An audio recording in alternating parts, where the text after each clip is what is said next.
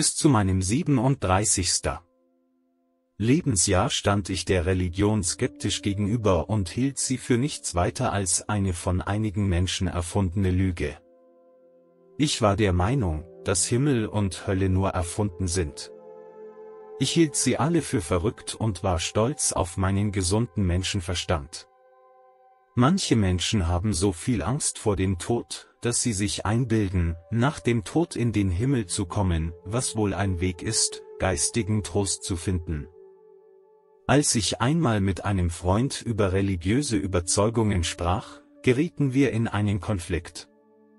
In diesem Gespräch habe ich meine Ansichten offen dargelegt. Mein Freund war ein gläubiger Mensch. Er hatte eine positive Einstellung zur Religion und glaubte, dass sie ihm in seinem Leben Orientierung und Sinn gab. Möglicherweise habe ich mit meinen Äußerungen seine Überzeugungen nicht vollständig respektiert. Dadurch fühlte er sich herausgefordert und beleidigt. Im weiteren Verlauf des Gesprächs wurden unsere Emotionen aufgewühlt und wir begannen, uns zu streiten. Dies führte zu einer Vertiefung des Konflikts zwischen uns.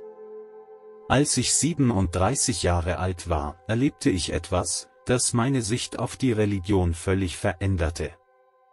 Mein Vater, der im Alter von 68 Jahren starb, war ein sehr guter Vater und ein kompetenter Ehemann. Wie ich stand er der Religion skeptisch gegenüber. Während der Zeit, in der mein Vater an Magenkrebs erkrankte, war unsere Familie großen psychischen Belastungen ausgesetzt. Er durchlebte die Schmerzen der Krankheit, aber er versuchte immer, optimistisch und stark zu bleiben. Ich bewunderte seine Einstellung zu seiner Krankheit, er beugte sich nicht dem Schmerz, sondern stellte sich jedem Tag mit Beharrlichkeit. In den Tagen vor seinem Tod hatte ich viele wertvolle Gespräche mit meinem Vater. Er sagte mir, ich solle jeden Augenblick meines Lebens genießen und mir keine Gedanken über das Bedauern der Vergangenheit oder die Ungewissheit der Zukunft machen. In meinen letzten Momenten saß ich an seinem Bett und hielt seine Hand. Ich kann nicht in Worte fassen. Wie traurig und bestürzt ich in diesem Moment war. Eines Nachmittags, drei Monate nach dem Tod meines Vaters, lag ich zu dieser Zeit im Bett. Ich war gerade in einen tiefen Schlaf gefallen, als ich plötzlich das Gefühl hatte, an einem anderen geheimnisvollen Ort zu sein. Rauch erfüllte die Umgebung und machte es mir unmöglich, etwas zu sehen. Dieser Ort schien sich völlig von der realen Welt zu unterscheiden, und ich hatte weder eine Ahnung, wo ich war, noch konnte ich die Richtung erkennen.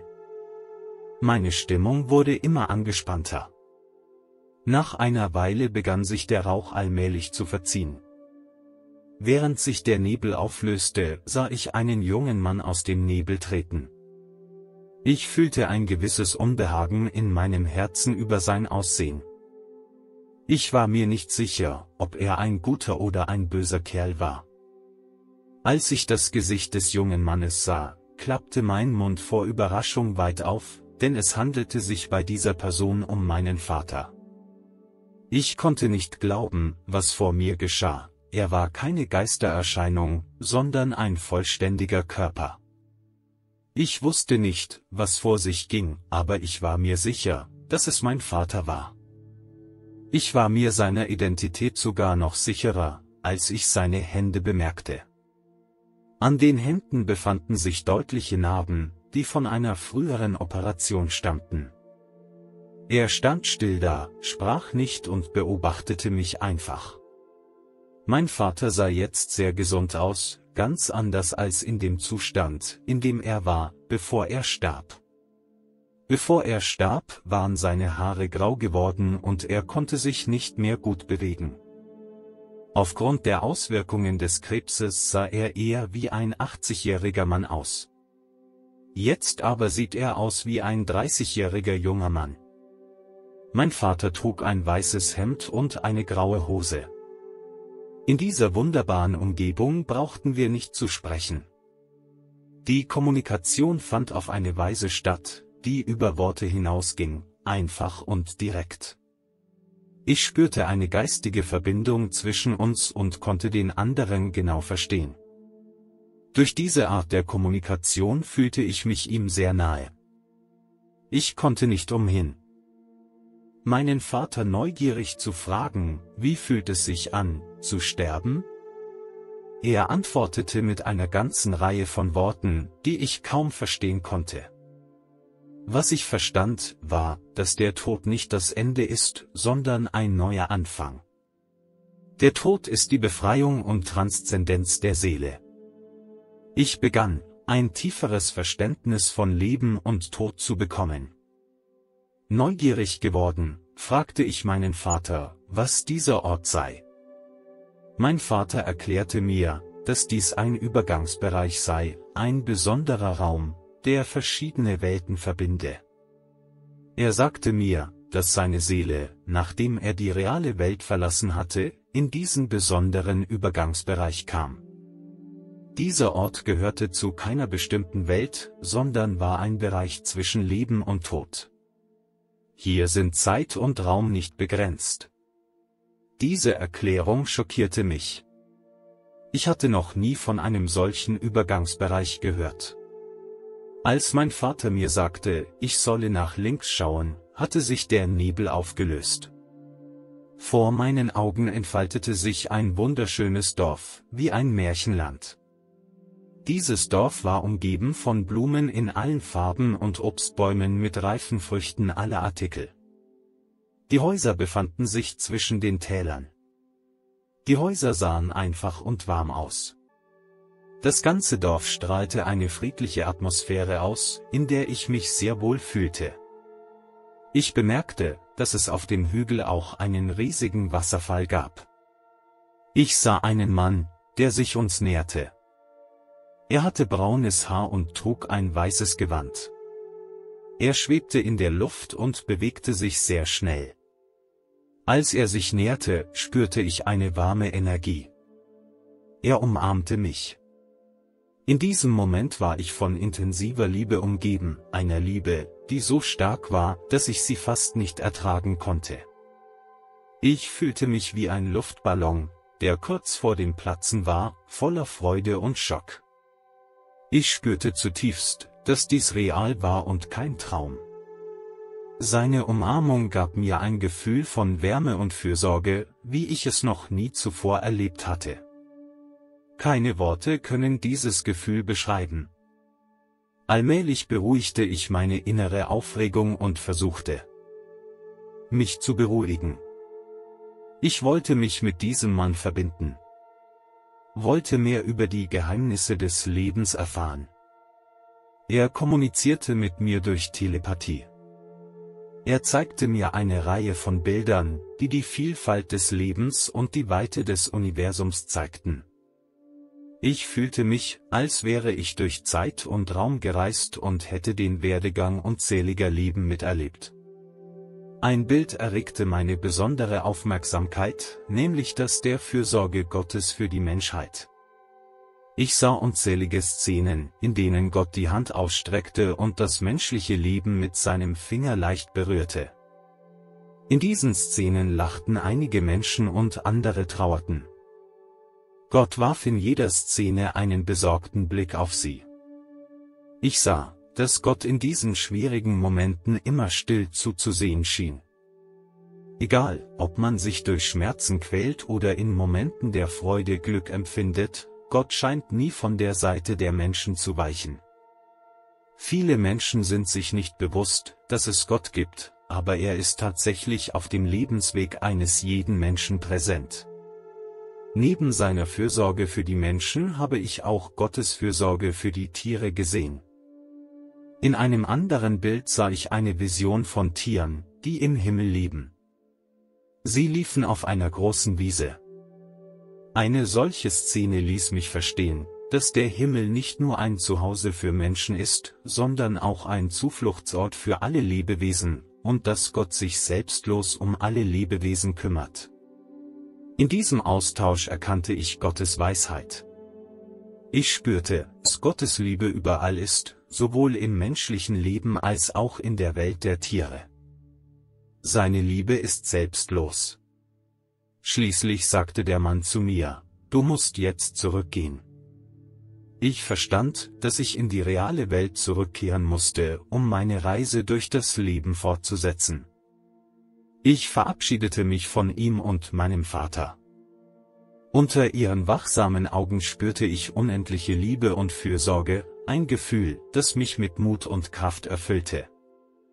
Ich sagte ihnen, dass ich diese wertvolle Erfahrung immer in Ehren halten und ihnen dafür danken werde, dass sie mir Vertrauen und Inspiration gegeben haben. Im Moment des Abschieds spürte ich einen Strom von Gefühlen, der über Worte hinausging. Unsere Seelen vermischten sich und wir segneten uns gegenseitig von Herzen. Langsam verließ ich diesen Ort und kehrte in die reale Welt zurück. Ich bin Gott dankbar, dass er mir eine so erstaunliche Erfahrung geschenkt hat. Drei Tage später kam meine Schwester zu mir nach Hause. Ich erzählte ihr, dass ich einen Traum über meinen Vater hatte. Bevor ich zu Ende sprechen konnte, unterbrach mich meine Schwester mit einem überraschten Gesichtsausdruck und sagte, dass sie auch einen Traum über ihren Vater hatte. Ich konnte nicht umhin, meine Schwester zu fragen, was hatte mein Vater an? Meine Schwester antwortete, dass er ein lockeres weißes Hemd und eine alte graue Hose trug. Vater war in einem sehr energiegeladenen Zustand, genau wie in seiner Jugend. Als ich die Antwort meiner Schwester hörte, war ich so aufgeregt, dass ich Tränen vergoss. Denn der Traum, den sie beschrieb, war fast genau derselbe wie der, den ich hatte. Der einzige Unterschied war, dass ich den Traum einen Tag früher hatte als sie. Ich war ungläubig, ein solcher Zufall war einfach unglaublich. Obwohl es keine Möglichkeit gibt, die Wahrheit des Ganzen zu erklären, sind wir beide davon überzeugt, dass es sich nicht um einen Zufall handelt. Erlebnisse wie dieses bestärken uns in dem Glauben, dass es im Leben unendlich viele Geheimnisse geben kann. Vielleicht haben wir eine besondere Verbindung zur Seele unseres Vaters, die über die Grenzen von Zeit und Raum hinausgeht. Diese wunderbare Erfahrung hat mich dazu gebracht, meine bisherigen Wahrnehmungen zu hinterfragen. Es ist so real. Ich glaube, die Zeit wird mir die Antwort geben. Meine Mutter ist seit dem Tod meines Vaters sehr traurig. Ich bin mir nicht sicher, ob ich ihr von meiner Erfahrung erzählen soll. Ich verstehe, dass dieses Thema ihren inneren Kummer berühren könnte. Nachdem ich ernsthaft darüber nachgedacht habe, habe ich beschlossen, meiner Mutter davon zu erzählen. Zuerst glaubte sie mir nicht, was ich erlebt hatte. Ich erzählte meiner Mutter mit Nachdruck, dass ich auch die Katze gesehen hatte, die ich früher hatte. Diese Katze war ein Geschenk meiner Mutter zu meinem Achter. Geburtstag. Ich liebte sie sehr und wir hatten eine tiefe Bindung. Als ich im Himmel war, sah ich diese Katze, die ein sehr glückliches Leben führte. Wenn mich jemand fragt, kommentiere in den Himmel, wenn sie sterben? Dann muss ich ehrlich antworten, ja. Ich glaube fest daran, dass der Himmel nicht nur ein Ort für Menschen ist, sondern ein Zuhause für alle Tiere. Aber als ich mehr Details über meinen Vater erzählte, war sie überrascht und schockiert. Tränen flossen aus den Augen meiner Mutter, als ihre Gefühle komplex und emotional wurden. Dies ist meine Geschichte. Nach dieser Erfahrung hatte ich eine völlig andere Sicht auf die Religion. Für mich ist der Himmel kein Hirngespinst mehr, sondern eine reale und schöne Existenz. Er ist unsere ewige Heimat, der Ort, an den unsere Seelen gehören. Angesichts der Skepsis vieler Menschen war mir das egal. Diese besondere Erfahrung mag für andere schwer zu verstehen und zu akzeptieren sein. Aber ich glaube, dass Gott überall um uns herum ist und dass er jeden einzelnen von uns bedingungslos liebt, auch alle Tiere. Mein Vater ist nicht für immer von uns gegangen, sondern hat auf irgendeine Weise eine besondere Verbindung. Ich glaube, dass ich in naher Zukunft wieder mit ihm vereint sein werde, und es wird ein ewiges Wiedersehen sein. Ich hoffe, dass ich mit meiner Geschichte ein Gefühl der Hoffnung und des Glaubens vermitteln kann, dass der Himmel real ist, ganz gleich, welche Veränderungen das Leben durchläuft.